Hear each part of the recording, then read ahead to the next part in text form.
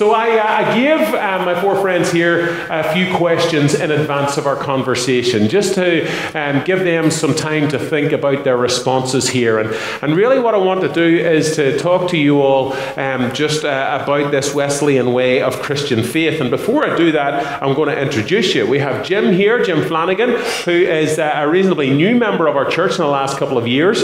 We have Steve Fife, who is not a new member of our church in the last couple of years, uh, one of our Sunday school teachers actually as well, and heads up our Stephen ministry. We have Judy Burke here, who is not a new member of our church here either, and, uh, and Judy is a faithful member along with her husband Jack there. And we have Jessica Scott, um, who sometimes worships here, sometimes goes over to 9.30, sometimes is with us, uh, with us at 8 o'clock as well. So really across all of our services. So friends, let me shut up for a minute and ask you all a question, okay? Um, just in, in your life, in your life, Think about your life. What has it meant for you to be a Wesleyan follower of Jesus? Who, who might want to speak to that first?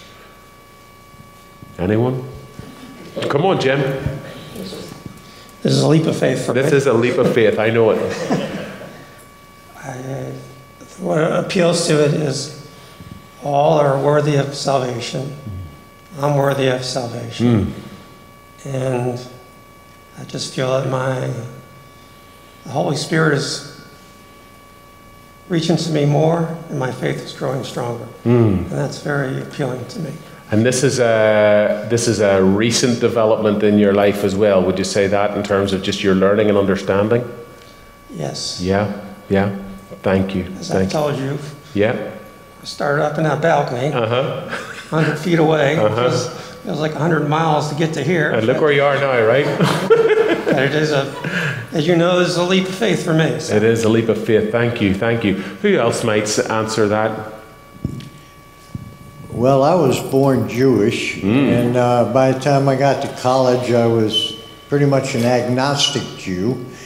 And one of the courses I took in college was uh, the study of the 21 major religions in the world. By the time you get to 21, I don't know how they can call it major.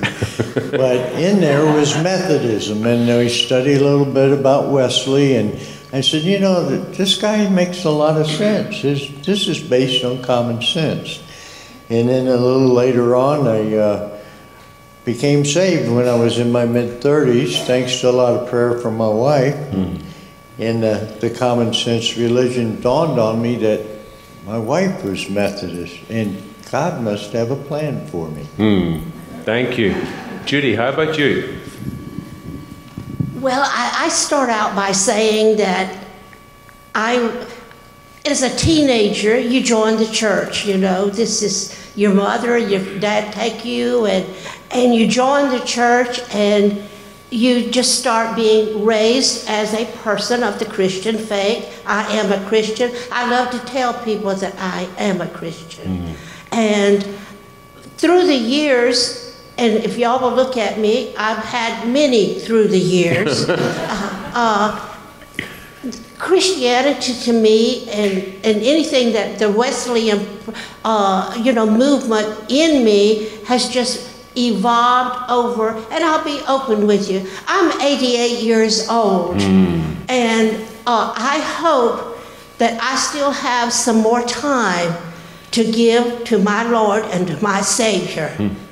Uh, I told Pastor Charlie a while ago that I had written all these notes down, you know, that, and he's already said most of what I was going to say to you. as, as, Charles, as John Wesley had, he had three rules do no harm, do good, and love God. Hmm. This, if you take these and you use them every day, look what we can become. Look what this church can become. Our doors are open to all those people that are riding up and down out there this morning. If we can just get them to come in and know the love of God, Amen. what a wonderful place we can have. Thank you, Judy. Thank you. Thank you. Jessica, how would you add to that? Sure. Uh, Yeah, my background um, and, and the way that I came into Wesleyanism. I am a cradle Methodist. I was born and raised in the church. Um, my mother is from South Georgia, uh, like Savannah, like Epworth, like all circuit riders are in the family. It was, you would think, pre- predestined. We don't do that. We're not Calvinists. Actually, what happened was um, I decided I wanted to join the church before I had even taken confirmation classes. And my mom and dad, too, they both were so supportive, but they also said, you know, you really, my mom especially said, you really need to understand what else there is. What, what else? There's more. And so we spent quite some time. Um, my mom's a school teacher, and she took me to the library uh, to do some research and to understand not only um, other Christian denominations. I actually got to go visit lots of different churches and and um, also non-Christian. So we took a trip down to the Islamic Center. We took you know, anything that we couldn't find a uh, physical place for me to go, we would go study in the library. And at the end of it, I realized that in Wesleyan theology, we are encouraged to ask questions. And it was such a testament to how strong our faith, how strong your faith is, is when you can question it and come out the other side and still be very much in line with that thinking. And so that was my that's my background. that's how I got you. here. Thank you. Hey, let's uh, let's just keep going into these questions, and I'm really interested in the um, in how this Wesleyan way of Christian faith has impacted you. Like, what what parts of it have had an impact on you in your time, or um, yeah, what what would you say to that? Don't forget to talk into that microphone, Judy. I'm, I'm so used to just letting it out. Let it out into the microphone. I know, yes. Uh, I have started, and, and I'm just going to back up. I came to Pastor Charlie one day and I on something else, and then I said, "What I would like to do, Lord, I, Pastor Charlie, I would like to learn how to pray." I said, "I do not know how to pray." There's so whatever I give, I I speak so childishly whenever I try to to ask the Lord for something, and uh, He suggested something that I, I might need to do, and this is y'all. This has come to me late in life, and I, it's never too late in life to bring Christ into your life. Amen. But He he gave me something to start on. And that, like I said, this was a little over two years ago. And I have taken that way to pray a little further. And I do pray. I, I pray for you. I can look at some of you out here and know that you, you're wanting someone to pray for you. I I pray for my friends. I pray for people that are downtrodden, so to speak. I can look at a homeless person and know that they need prayer. I am learning, and all of us can learn to pray. Thank you, Judy. Steve, how, how has it impacted you? Well, I, I came to Christ when I was a very low, probably the lowest point in my life. And I said, if you can get me out of this mess, I'll be your servant. And I'm still trying to live up to my end of the bargain because Jesus lifted me up. I, it, he made me a much more caring person, uh, to see people differently, to approach situations differently, and to just want to become a better person. And, and by looking at and following the way Wesley wanted to set things up, it just matches right on with my way of thinking and the way Jesus is pushing me mm. as he continues to push me today to be better. Mm. Thanks, Stephen. Um, Jim, how, how, uh, how has this Wesleyan way been impacting you? What's, what's been making the difference that you were talking about just a few moments ago? Well, uh, to lean on Jessica, theme of questions. Mm. You know that the thing that's been appealing to me is the small gathering of classes.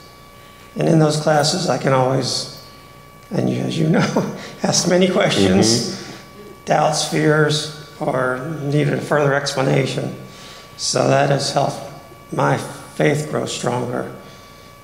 And I know that through the, my faith growing stronger, I know the Holy Spirit is speaking more clearly to me and realizing I have a longer way to go, a lot, lot longer way to go. But I think I'm on the right path. Amen. Amen. Thank you. Steve, would you take that microphone again? I want to push you a little bit more because I know I can. Um, talk to me about your, your ministry of teaching and how you were called into that and, and what difference that has made, not only to you, but the people that, that you welcome into your class over the long term. Well, uh, I didn't think Sunday school was for me. Of course, I knew a good bit, and so why should I go to Sunday school? But my wife asked me one day, just try it once. So I did. And I started going to Sunday school and, and, and learning more. And I, of course, interacted with a Sunday school teacher. And pretty soon he says, I'm going to take a vacation. Will you take over for me?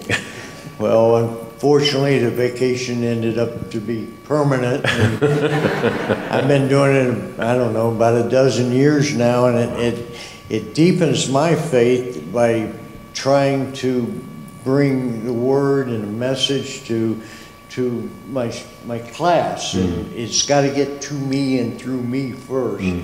before I can give it to them. And even today, we talked about uh, Wesley and and that uh, we're supposed to go out and and teach people about Christ and bring Christ to people, and it, it's really been great for me. Thank you, Steve. Thank you. Um, Jessica, how might you respond to some of that? Well, I also was a Sunday school teacher um, right up until I was several months pregnant, and then the, the idea of standing with um, for that long and and getting on the ground with kids was it just wasn't going to happen. Um, and Steve, you're right. Uh, although you think adults are tough, mm, you, uh, you've not lived until you've had a third grader ask you about pick a topic. Pick a topic, and they'll ask you, "Why did my cat die? Why, you know, why is my grandma sick? Um, and also, why does the sun shine? And also, why are there birds in the trees? Why don't, you know, they have all these questions. And let me tell you, again, questions. they, they mm-hmm. will, they'll send you um, spiral, not spiraling, but into a journey of um, discovering your own faith and um, you know those kids and and my sunday school teachers i thought back to all the sunday school teachers that i had and i was so fortunate to grow up with amazing sunday school teachers um, who poured into me um, and that's something that i really appreciate these small groups where you are just pouring into one another with teachers like steve who are pouring into their their um, students and their their classes and then at the same time I'm just, you said this, it's coming right back at you. And before you can even get to teaching, you know, a, a third grader or a 57th grader or whatever uh, about um, the love of the love of God, you've got to recognize it and understand it for yourself too. Mm, thank you. Um, I want to get to our last question. Um, so the thing about the Wesleyan way of Christian faith is that it's not just like a one and done deal at the start of your Christian journey. You know, I, I, I now belong to God and all God's work is done, right? We, we believe wholeheartedly in sanctifying grace, that the best of the gospel is the rest of the gospel. It's the work that God does within us, and all of you have testified to, to that so far this morning. So here's my, my last question How is being a follower of Jesus in this Wesleyan way? How is it changing you today? How is it transforming you in the here and now at these various stages of your lives? Who might want to speak there? Well, I'm sitting right here. Uh, I am an introvert. Most people don't know that or recognize that, but I'm I'm an introvert. Um, I love people. I love them so much. I'm called to love them. Uh, but it's exhausting to be with people. Um, and yet, here I am. I'm serving in several capacities as a, a lay leader throughout the district of conference. Um, and I also have a covenant group. Um, and in my covenant group, we start all of our conversations with how is it with your soul? And it's not just, hey, how you doing? And then you answer fine and you go on about your day. Mm-mm. It is, how is it with your soul?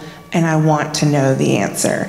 And I'm going to listen to you and take all of that in and understand and connect and interact in meaningful ways that I wouldn't I wouldn't voluntarily go out and do that. I um, because I don't want to be tired. At the same time, being in that interaction, understanding that I am I am engaged with someone and, and with this small group of people that I'm in covenant with, they're also engaged with me and they're walking beside me and praying for me and we're praying with each other and helping each other. Um, and we're not doing it alone. You know, we live in God's world. Mm, we are not alone. amen. Thanks be to God. Um, so yeah, so I am I'm out interacting with other people and amazingly energized by being interact interacting in that meaningful, impactful way. Thank you. Judy, what might you say to that? How is Jesus transforming you here and now? Well, I, I think that I, I might have just told you uh, a while ago about prayer and to to what what she just said here. You know that uh, to get up here, it, it was a leap of faith to get up and and walk up here. And after, let me tell you, after you get up here, I'm not afraid.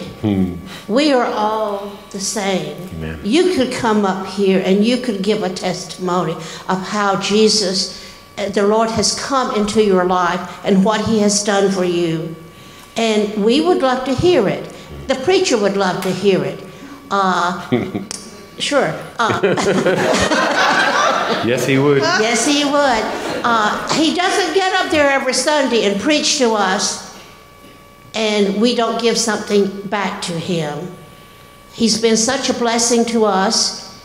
He's taught many, taught me many things that I can get up here and do this, and he's taught me how to start praying. And that's that's all I've got right now is that I'm learning. I'm still learning how to pray for myself and for the man I love out there that we have gone through some bad times, uh, health wise. He has pulled us through.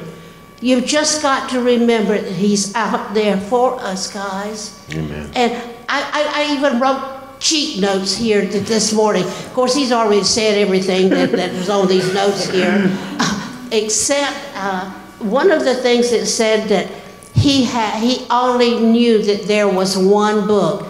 John Wesley said there's one book, and that's the Bible. And that's the first book that we should put in our library, y'all. And in searching him, did you know that John Wesley really died a poor person? Mm-hmm. When he died, he, oh, he had a library full of books. He had a clergy robe that was completely worn out. But the other thing he had was Methodism. And that's Amen. it. Thank you, Judy. Steve. Well, I've really grown um, in this church quite a bit. Uh, many years ago, was there was somebody that came up and said they needed to train some new Stephen ministers, and I, you know, to care for other people, me, know, I, I, and listen. I don't listen. I talk. but but but uh, God pushed me, and and it's just like Wesley says, you have to get out of yourself and get out there and, and help people where they are.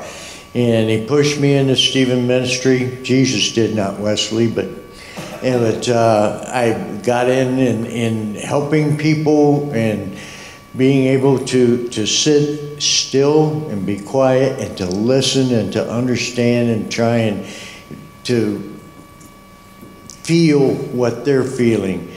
And I think that, that, I, that Stephen Ministry is a good part of, of what Wesley wanted us to do, to get out there and help people and bring the Word of God to them. Amen.